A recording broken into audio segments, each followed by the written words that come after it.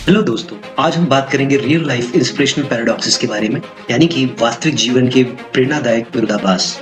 विरोधाभास क्या है? कथन जो कि विरोध का आभास प्रकट करता है, ऐसे ही पाँच पैराडॉक्सेस को हम समझेंगे। पहला पैराडॉक्स जितना ज़्यादा किसी चीज़ से डरते हैं, चीज़ हमें उतना ज़्यादा नहीं चाहिए। के जीवन में कुछ ना कुछ ज़रूर होता है करने से, बोलने से, समझने से, मिलने से, जोड़ने से हमें डर लगता है।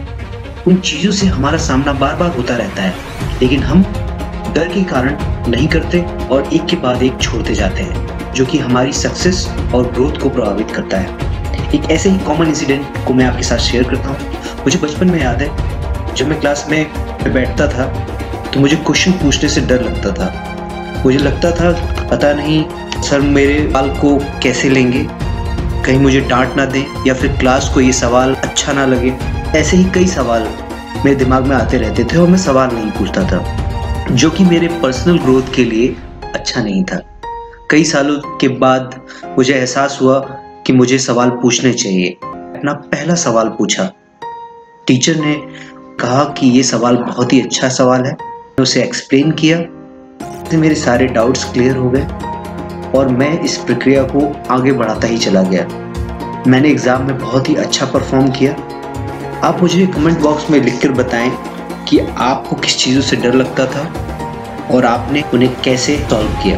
बढ़ते हैं। पैराडॉक्स नंबर टू जितना ज़्यादा हम सीखते हैं, उतना ज़्यादा हमें एहसास होता है कि हम कितना कम जानते हैं। सुक्रास ने कहा है कि समय के साथ जैसे जैसे अंडरस्टैंडिंग बढ़ती है, हमारे सवाल बढ़ते हैं, ना कि उनके उत्तर। और इस कथन को प्रमाणित करती है गीता। आप गीता को एक बार पढ़ें, दूसरी बार पढ़ें, तीसरी बार पढ़ें, कुछ अंतरालों में तो आप पाएँगे, जैसे जैसे आपका नॉलेज बढ़ रहा है, आपकी क्यूरियसिटी आपके सवाल बढ़ते जा रहे हैं। चलिए आगे बढ़ते हैं पैराडॉक्स नंबर थ्री हमारे पास जितनी ज़्यादा चॉइसेस होती हैं, उतना कम हम हर एक से संतुष्ट होते हैं। विरोधाभास को पैराडॉक्स ऑफ़ चॉइसेस भी कहा जाता है। रिसर्च बताती है कि हमारे पास जितने ज़्यादा ऑप्शंस होंगे हम उतना कम संतुष्ट होंगे। थ्योरी कहती है पैराडॉक्स ऑफ़ चॉइसेस पे कि हर एक चॉइस के लिए हम इंटरनली एक अपॉर्चुनिटी कॉस्ट देते हैं जिसके कारण हमें कम खुशी हो, होती है अपने डिसीजंस पर।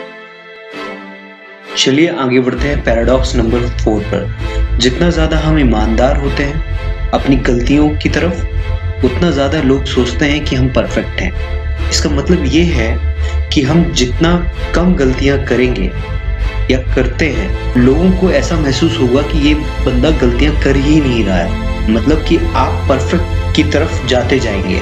आपने ऑलमोस्ट गलतियों को ज़ीरो कर दिया, क्योंकि आप फोकस कर रहे हो अपनी गलतियों की तरफ़, ईमानदार हो उनकी तरफ़।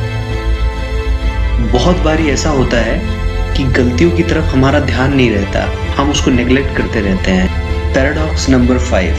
केवल एक कांस्टेंट है जो कि है बदलाव। हम सभी ने इसे महसूस किया है।